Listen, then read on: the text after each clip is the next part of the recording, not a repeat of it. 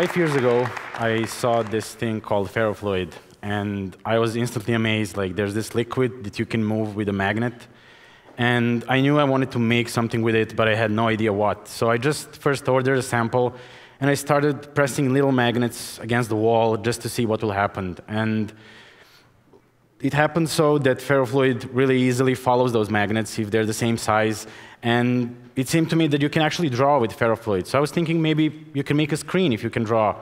So I started thinking, what can I make? And after a few days, I realized that maybe the best thing to make is a digital clock because there's this notion and flow of time, and there's this liquid behavior of numbers. So it seemed really easy. I just, I just mocked it up in Illustrator because I'm a UX designer. I have nothing to do with industrial design. And I took electromagnets, and I thought by turning on and off electromagnets, you can simply modify the ferrofluid, how it looks, and you can make numbers.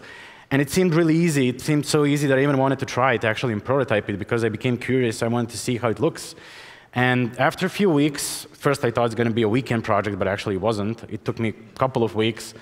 And I got something that was actually a proof of concept, but it wasn't really enough for me. It wasn't enough for a couple of reasons. First reason, it was wasting so much power. It was, it was insane. It was like a heating unit.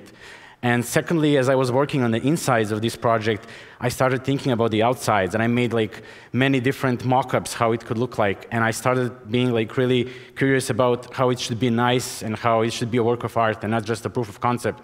So I went back to the drawing board and I started thinking about how can you make this more elegantly. And paradoxically, more elegant way to make it was to make it more complex by making a mechanism. And at that point, I just gave up. I was like, how can I make a mechanism? And that's not my job. I'm not an engineer. I'm not even an industrial designer. So I packed everything in the box and I put it in a closet. And it wasn't really the end of the world because I was approached by a startup from Paris, a really young startup that had one amazing idea. So I joined them and I spent the next three years working with them. And we did some really, really nice things. We traveled a lot. We worked with Google and Google X, with someone on, on, on Google, Google Glass app. We worked with some famous museums in Bay Area. And it was during those trips that I realized that I don't want anymore to travel to USA, that I actually want to move here and live here. So naturally, moving to a different continent means that you will lose your professional network. And the best thing you should do as a designer is just like create your portfolio because that's the only weapon you have.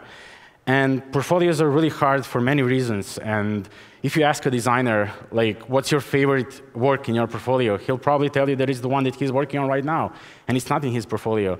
On the other side, portfolios are presentations of ourselves, and even worse, they are presentations of the work we did before that we're not so crazy about anymore. So I had this problem, I had this loop because I wanted to go, and I needed my portfolio, and I didn't want to do my portfolio. So naturally, I decided to procrastinate. And I remember that there is this project I have at home, so I took the box and I brought it to my office. And I didn't have any plans. I just wanted to play with it, just to see what will happen, this part with that, and so on.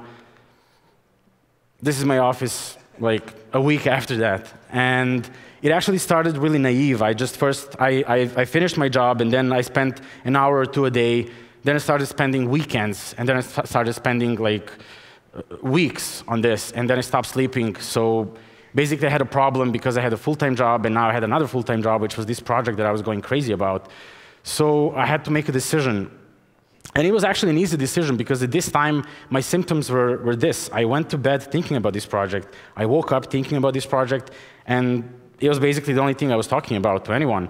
So it's safe to say that I was in love with this project, and the decision was quite easy. I decided to focus on this project full time. But that had consequences because I didn't have a job anymore. And prototyping this, as you will see on the next slides, is, uh, is time consuming. It requires your full attention, and it requires actually a lot of money. So I needed to solve that because going and doing like freelance for full time once again, I couldn't have time to do this.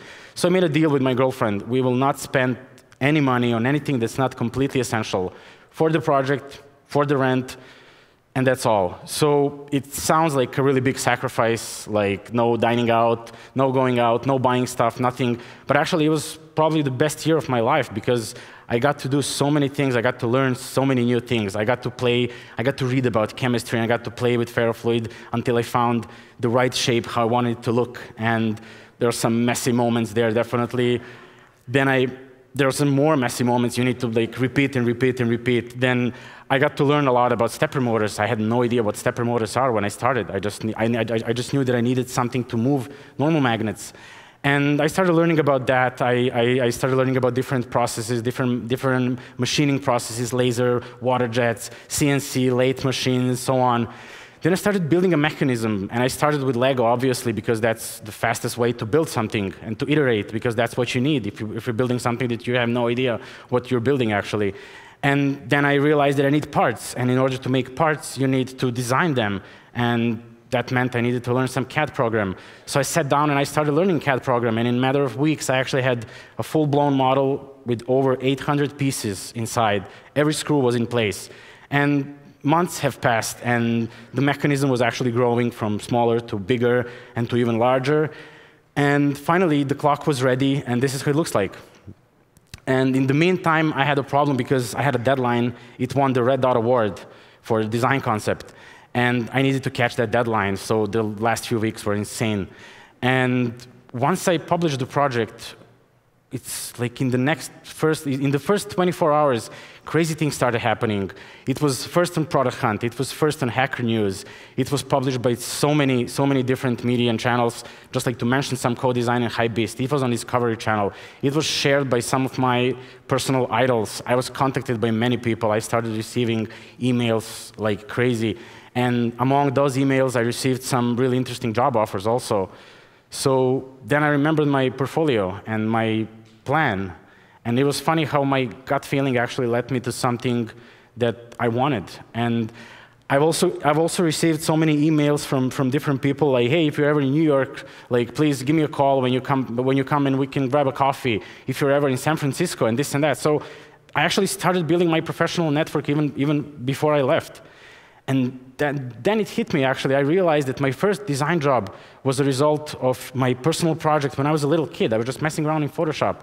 And these guys from Paris I mentioned, they saw my previous design project, and they just called me and they said, like, hey, we like how you think, so can you make apps? And I said, yeah, basically, that's what I do. I make apps. This is like my hobby. And they said, cool. And it's this clock now that brought me to California, to one amazing design studio when I'm learning from like the best designers in the industry. And it's, it's all something I couldn't anticipate. So I started thinking like, what's so powerful about personal projects? And I realized that personal project lets you express yourself it lets you show 100% of yourself, and that's your ID card, because it shows how you think. There are no compromises, there are no clients, there are no deadlines. It's only you and the compromises you make with yourself. And it's safe to say that I will have more personal projects in the future, definitely. And I started thinking what was different between the first approach and the second approach when I built this. The first time I failed, second time I didn't. And I came across three points that I want to share with you that will probably help you if you decide to embark on a journey like I did. And these are points that don't relate only to design, they relate to anything. The first one is, if you have projects laying around or ideas in your notebook, stop filtering out the ones that you think you lack skills for. Actually pick them, because if it's a personal project, that's the best way to learn. And by learning new skills, you will actually get more ideas. It happened to me learning skills for this project finished some other projects that I couldn't finish before. The second thing is, if it seems easy, and if you decide to do this, uh, it seems easy only because you lack experience. That's actually why, so it's bad news. But the good news is that it, it's, it's, it's not impossible also. And the first time I tried, I thought it's going to be easy, and I went from easy to impossible in like the matter of weeks. And that's only because I had limited experience. So just acknowledge the fact that it's hard, and it takes time. And most important, try to approach your project with a playful mindset. Start playing with it, and that mindset will completely eliminate the fear of failure. It will completely eliminate all the risks and everything. And chances are, if you start playing in it, and if you, if you play with it enough, chances are you'll fall in love. And if you fall in love, nothing can stop you. So that's how you drive your reality. Thank you.